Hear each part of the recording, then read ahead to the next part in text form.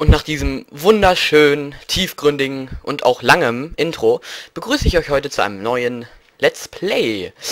Mal wieder. Mein zweites äh, laufendes Projekt jetzt. Rayman Revolution. Ein Let's Play, was ich tatsächlich mal nicht angekündigt habe, was jetzt so voll, äh, voll eine Überraschung ist. Wir spielen heute Rayman Revolution. Ähm, und zwar, wie man schon am Titel erkennen kann, als Blind-Projekt. Ich habe Rayman Revolution noch nie gespielt, geschweige denn überhaupt irgendein Rayman. Das einzige, was ich mal gespielt habe, war... Gute Frage eigentlich. Äh, eins für ein Gameboy hatte ich mal. Oh, was war, wie hieß denn das? Ich weiß es leider nicht mehr.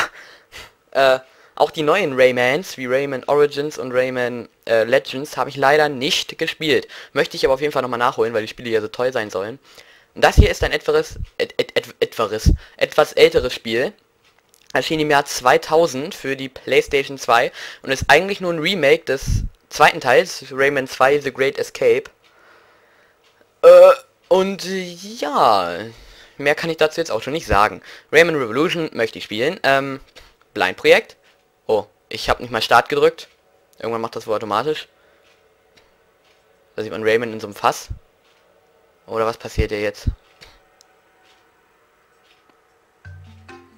Oh, eine Demo. Wie wunderschön. Das hören wir uns doch jetzt, gucken wir uns doch jetzt mal ein bisschen an. Ähm, während ich weiter rede und philosophiere. Ähm. Jetzt bin ich gerade abgelenkt. Ähm, anders als die anderen ist das hier auch ein 3D-Spiel. Das war ein wunderschön langes, wunderschön langes Intro. Ähm, möchte spielen blind, deswegen geht wieder meine berühmte 100%-Regel. Ähm, ich behalte es im Hinterkopf, aber ich verspreche es euch nicht. Wenn es mir zu langweilig oder zu langwierig oder schwer wird oder sonst was, dann verzichte ich drauf. Ich werde natürlich mein Bestes geben. So, auch recht witz... Was ist denn jetzt falsch? Ich habe Start gedrückt. Oder habe ich das Spiel jetzt voll geschrottet? das wäre ja mal genial. Ah. Okay, ich glaube im Intro ist das die Musik ziemlich laut. Ich hoffe, er hat jetzt auch gespeichert, meine Soundeinstellung, die ich schon mal gemacht habe. Ähm, also ich sagen, eine recht inter interessante Geschichte, wie ich an dieses Spiel gekommen bin. Ich habe es meiner Oma geklaut. Nein. Meine Oma hat ja tatsächlich eine Playstation 2. Ich glaube, ich habe die Story schon mal erzählt. Nur für uns Kinder, also für mich und meine Cousins, die wir öfter waren. Dabei war unter anderem drei Spiele. Das Spiel zu Italian Job, dann Crash Bandicoot Zone des Cortex, was ich auch noch nie gespielt habe, und Rayman Revolution. Und diese Spiele habe ich mir jetzt mal mit nach Hause genommen, weil wir da eh nicht mehr Playstation spielen. Und da dachte ich mir, Rayman Revolution soll doch so toll sein, warum mache ich da jetzt nicht mal, mal wieder ein Blind-EP äh, von? Weiß ja schon so lange, weil ich schon so lange kein Blind-Projekt mehr hatte. Und ja, ich würde sagen, ich war ja lange Zeit in England, äh, England sei schon in Amerika, deswegen spielen wir jetzt auf England natürlich nicht. Wir spielen auf Deutsch. Äh, laden können wir natürlich nicht. Mal gucken, ob der Sound... Sprache. Hä? Was? Raymanian? ja, das Spiel hat übrigens auch eine Sprachausgabe. Ups, jetzt habe ich Italiano gemacht. Das wollte ich nicht. Was steht da jetzt Texto? Testo. Ich habe ja Französisch in der Schule. Äh, Fran Französisch. Spanisch meine ich. Oder habe ich gerade Italiano gemacht? Achso, ich habe Italiano gemacht. Egal. Äh, zurück bitte. Sound. Hat er nicht übernommen, okay. Weil der Sound ist übelst leise, deswegen ähm, mache ich das mal laut und so hatte ich das glaube ich ungefähr. So, okay. Jetzt fangen wir wirklich endlich mal an. Äh, Namen ändern. Äh, ich weiß nicht, ob das äh, so gespeichert wird. Sorry. Nein, ähm, äh, ich, ich, ich, ich weiß nicht, ob wir dann umbenannt werden im Spiel, aber es hat ja Sprachausgabe, glaube ich nicht. Deswegen... Ja, jetzt habe ich es gelöscht, wunderbar. Ah! Okay, ich würde sagen, wir nennen es trotzdem mal Rayman, bevor hier irgendein Scheiß passiert. Wie anders heißt, als ich eigentlich heißen will.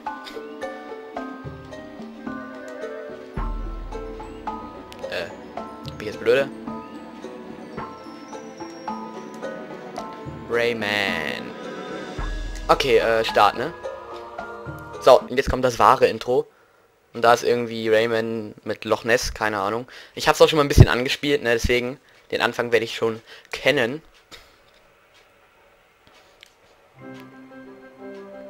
Ubisoft Entertainment. Was haben die Piraten aus der Welt gemacht? Sprachausgabe. Einen Planeten des Bösen, voller Angst und Schmerz. Einen dunklen Ort mit grausamen Monstern. Seit sie dich gefangen haben, kann sie nichts mehr stoppen. Sie haben alles genommen und die Leute versklavt. Die Roboter streifen umher und schnappen alle Unschuldigen.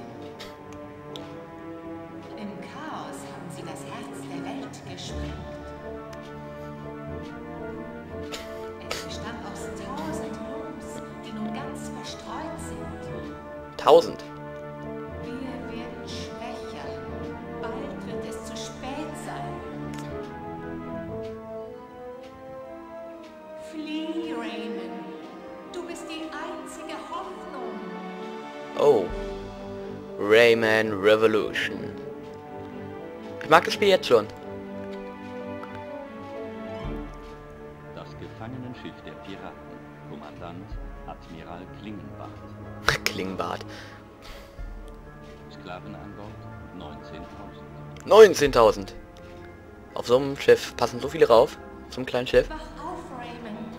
Ich sende jemanden zu Hilfe. Okay, jetzt mit ganz lauter Sprache geht's, weil als ich schon test getestet habe und die Sprache weiter runter war. Oh, da ist er. Oder ein Pirat. Da hat man echt nichts verstanden, weil die haben echt die Sprache viel zu leise gemacht in diesem Spiel.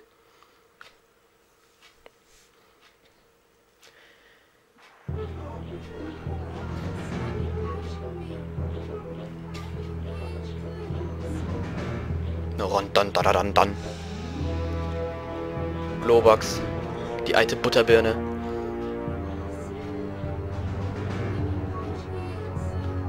Okay, da hat man jetzt nichts verstanden. Wasser, Gnade, oh, oh, zu Hilfe. Oh, oh.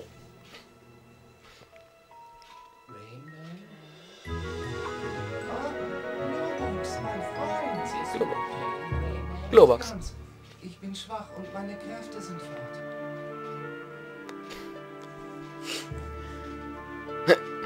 Sein Blick. Weißt du, Globox, das ist bestimmt das Ende. Nein, nicht Ende. Bluebox hat gutes Geschenk von Lai. Lai, die Fee? Oh, i. Ein Silberlos. Den würde ich nicht mehr nehmen. Unglaublich. Ich fühle seine Energie in mich fließen. Globox, wir sind gerettet. Meine Frau ist noch wieder voll Stärke. Juhu. Keine Angst, ich wusste, dass er das jetzt sagt.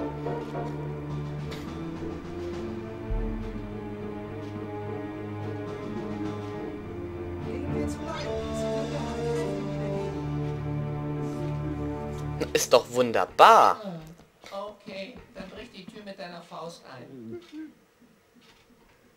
Mach weiter, benutze dein magisches Faust. Okay, was können wir denn alles? Wir können laufen mit dem linken Stick. Natürlich. Ich spiele natürlich wieder auf Original Playstation. Von Emulatoren halte ich nichts. Naja, jedenfalls nicht von Playstation Emulatoren. Habe ich noch nie ausprobiert, aber ich glaube, die funktionieren nicht. Ähm, mit Viereck können wir kloppen. Mit Kreis können wir ebenfalls kloppen. Mit Dreieck, äh, ja, Hut, HUD, hat, machen wir auf.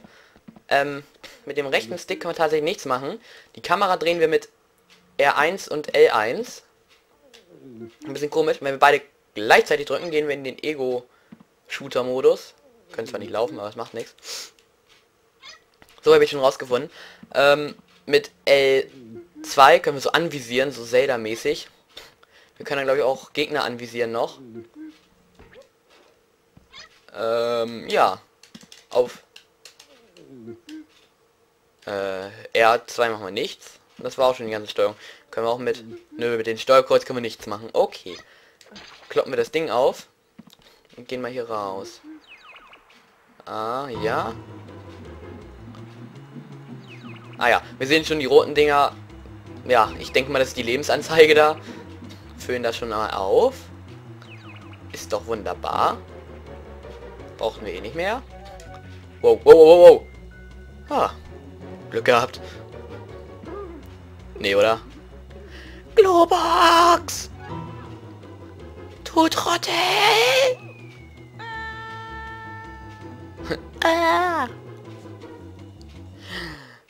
Oh mein Gott. Wetten, das müssen wir auch noch machen. Auf so ein Faster rollen. Oh, scheiße.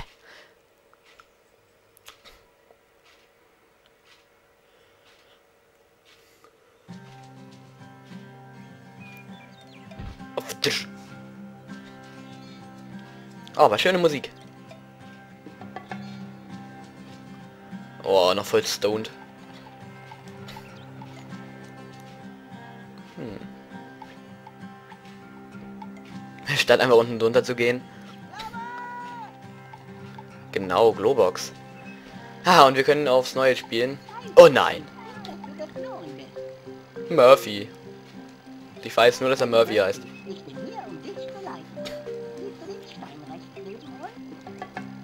Naja, das war eigentlich links. Oh, jetzt habe ich nicht rauf... Oh, jetzt habe ich außerdem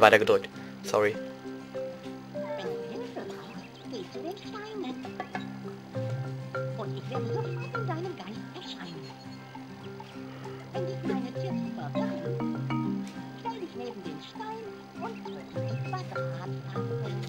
Eine Aktionstaste oder was hat er gesagt?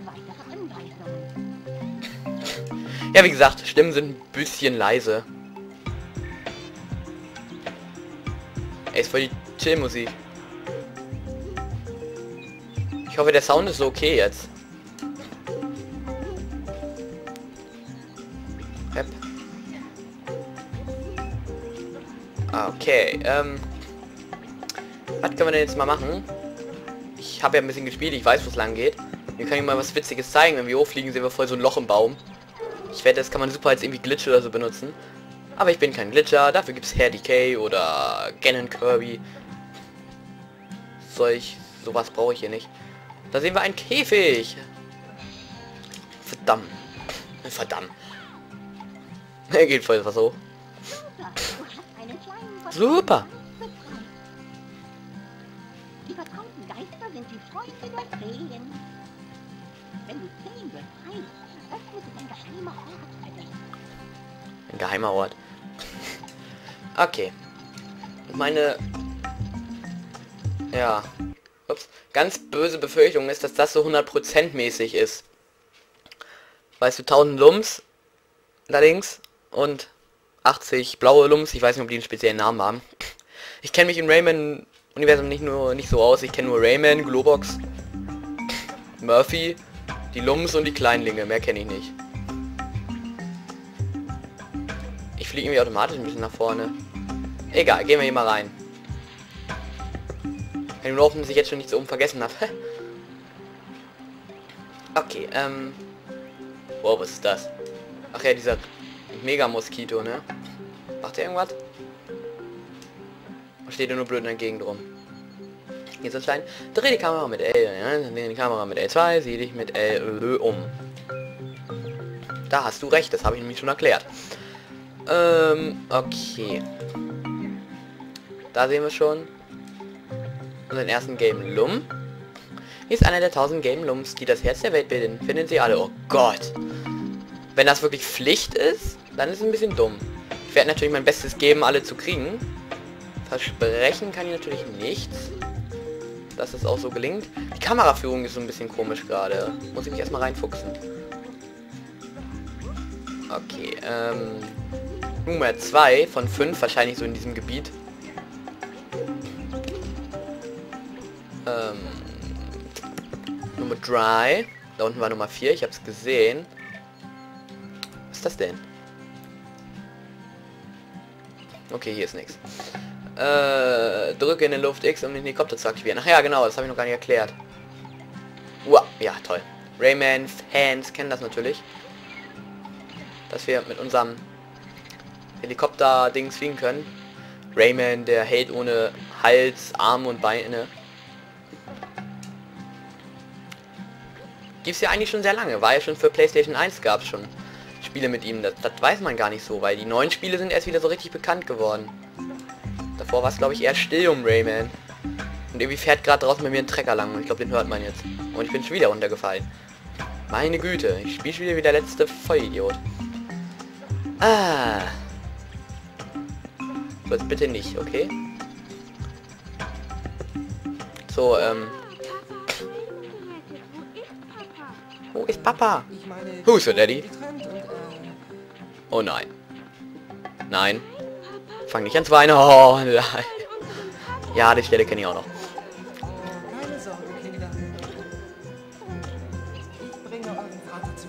Alter, die Musik ist so laut.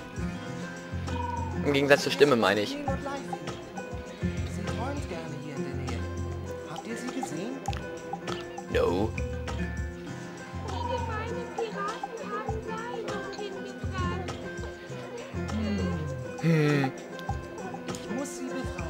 Ist aber merkwürdig.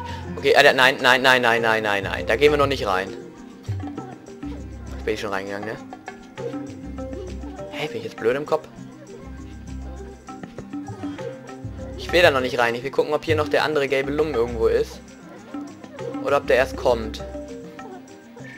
Ups, ah, ah. Alter Schwede.